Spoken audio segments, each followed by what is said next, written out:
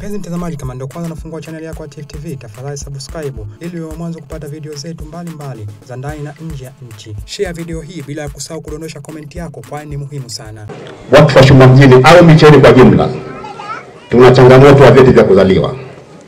Watoto wetu asilimia mia moja wa wilaya ya Micheweni, tukienda kutafuta vitambulisho hatupati. Kwa sababu gani? Ukipeleka cheti naomba ni cheti, ni feki cheti. Sasa mimi nauliza, hiki cheti feki na serikali, kina muhuri wa serikali, kina muhuri wa feki kina namna gani? Naomba mheshimiwa utujulishe hili. Kikwazo chetu sisi wananchi ni kuenda kutafuta pasipoti nyingine. Utaanza kikwazo kipya kama ambaye hujatafuta pasipoti. Kwa hiyo lalamiko letu, tuomba hapa, kama kuna uwezekano kwa serikali, viongozi wote wenyewe wapo, isiwe tena ni kikwazo cha kuanza alifu, kwa kuwa pasipoti yako ulikuwa unatumia mpaka ishafika muda imemalizika, iwe ni kufanya reservation ya kubadilisha, kama vile ambavyo madereva wanaweza kubadilisha leseni. Anarejesha leseni, anapigwa picha pale pale, anabadilishiwa leseni nyingine, anashika njia, anaenda. Lakini pasipoti haiwi hivyo, lazima uanze upya. Kwa hiyo hili naona ni kikwazo kikubwa kwetu. Kwa hiyo jiji, watu ambao wamejitokeza hapa, watu wa uhamiaji, mimi natuelekeza wapi? Kwa pasipoti yake akiingia Tanzania atafanya kazi na Tanzania akiingia Kenya atafanya kazi bila vibali vya work permit, lakini bado hicho ni kikwazo kikubwa. Ndio maana ukasikia kila mwaka Wazanzibari au Watanzania wanawekwa ndani, sababu kubwa ni work permit. Tunataka mtusaidie, muwasiliane na wenzenu wa Kenya. Hii work permit inapatikana vipi mpaka tuepushane na matatizo kama tunapata kila siku?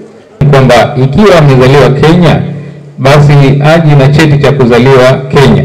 Ikiwa amezaliwa Zanzibar apate cheti cha kuzaliwa Zanzibar. Ndio maana yuko hapa leo afisa wa wakala wa usajili wa matokeo ya kijamii ambaye yeye ndo anasajili vizazi vilivyotokea Zanzibar.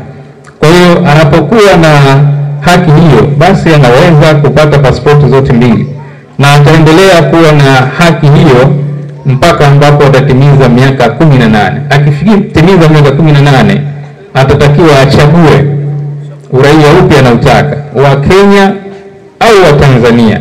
Tumekuja kuzungumzia swala zima la uingiaji na utokaji. Kama tunavyojua, mkoa wa Kaskazini Pemba, hasa wilaya ya Micheweni, imepakana na wenzetu zetu wa Kenya, kwa maana Mombasa. Sasa kuna kawaida ya uingiaji ambao unaonekana haufati sheria na kuna kawaida ya utokaji unaonekana kwamba haupati sheria, japo kuwa si kwa watu wote, lakini wamo baadhi yao wanakuwa hafati sheria. Bandari ya Shuma haijarasimishwa, lakini kutokana na mapenzi ya dhati ya viongozi wetu wakuu, naomba jamani tuele, tu, tu, tusikilizane kidogo pamoja na kwamba haijarasimishwa rasmi, lakini kutokana na mapenzi ya dhati ya viongozi wetu wakuu wametupa agizo kwamba mnapoondoka bandari hiyo hapa na mnapoingia lazima tukutambueni kama kweli mnaondoka na kweli mnaingia, na nadhani hajawepo mtu hata mmoja kufukuzwa kwamba umeondoka kwa bandari hiyo. Uongo kweli? Ni kweli, na wala haijatokezea kwamba mwananchi wa Micheweni anatoka Mombasa ameshukia bandari hiyo hapo na amekuja ofisi ya uhamiaji akatuthibitishia mimi natoka Mombasa, na tukaweza kumbungia kwamba ameingia, baadaye tukaamua kumpeleka polisi eti kwa sababu hajaondokea bandari ya Wete. Hatujakifanya hata mara moja. Tusikumbatie, tusikumbatie wahamiaji haramu, na mhamiaji haramu ni yule ambaye ameingia pasina kufata sheria. Wewe ni mgeni, unamkumbatia, unakaa naye ndani, akishafanya maovu anakimbia kwa kidao, na wapakiaji ni sisi.